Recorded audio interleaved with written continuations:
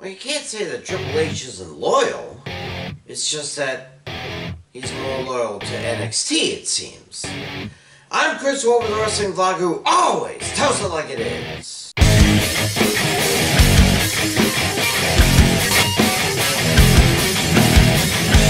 I am a die-hard Miami Marlins fan.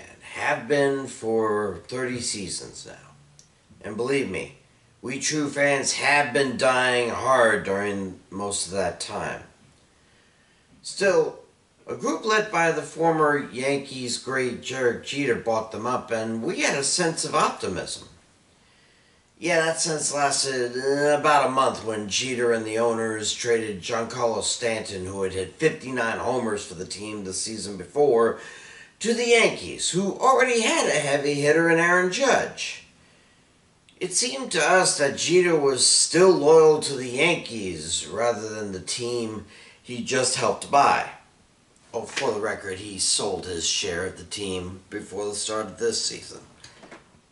It almost seems that something similar is happening in the WWE. See, owner Vince McMahon has retired from his post as chairman in order to spend more time with his lawyers, and his son in law Triple H has been brought back to take over the creative team.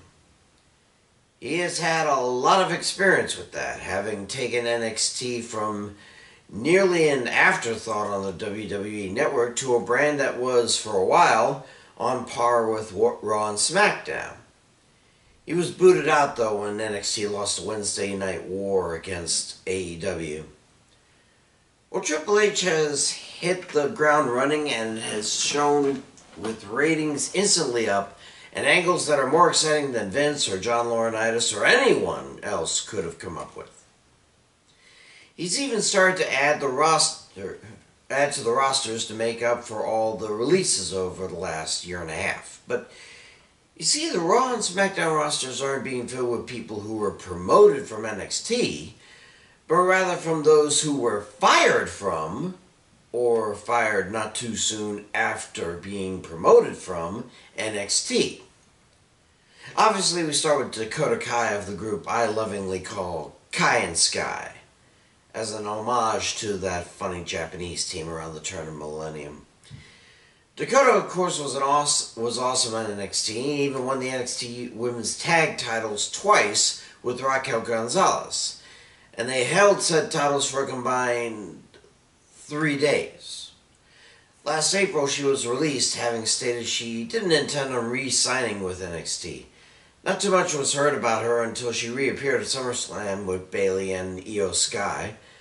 Apparently, Triple H got in touch with her once he took over, re- renegotiated her contract, and got her on Raw. Now, our partner, the wrestler formerly known as Io Shirai, was not released from NXT at all. She'd been out since June with an injury. Not sure if a name change was what she had in mind before being promoted, but there she is. Two SmackDowns ago, the next Purge victims brought back were Karrion Kross and Scarlett. Yeah, remember him? The one that quickly rose to the top on NXT and got kicked up to SmackDown less than a year after his debut there?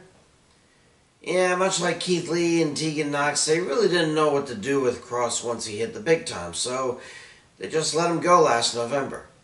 Oh, he wasn't starving though. He had a few matches in MCW and was even part of Ric Flair's last match card. But I guess Hunter hated to see such talent go to waste, so he invited Kross and Scarlett back, and they picked up right where they left off, gunning for the top prize, no matter if he has to go through Roman Reigns or Drew McIntyre to do it. Tick tock. Sorry. Last Monday was the oddest return, though given the belligerent, it's not too surprising. See, when Kevin Owens was in, interviewed after more or less killing the Ezekiel angle, a car crash was seen. Rather deliberately, I might add, in the background. Before AJ Styles went out for his match, some policemen were running through the arena. And then after AJ's win, the police were holding back someone in the crowd. The announce team made very little to do about it, but when the man raised his head up to a camera that the producers in the truck obviously missed. It showed Dexter Lumis. Yeah, the, the blonde, mute, mustachioed psychopath who married Indy Hartwell last September and was released in April to pretty much no fanfare at all. He had some matches in the NWA before Triple H dragged him back. The real question now is will he be allowed to talk on Raw? And then there was Hit Row last Friday. Much like Kross, the stable became so popular so fast that they were drafted to SmackDown last October. But before they could take off, Creative probably thought, what the hell were we thinking? And released B-Fab on the same day as Kross and the rest of the stable two weeks later.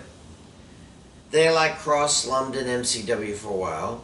Then their leader, Isaiah Swerve Scott, was recruited by AEW and is currently one of their tag champs, along with, surprise, Keith Lee.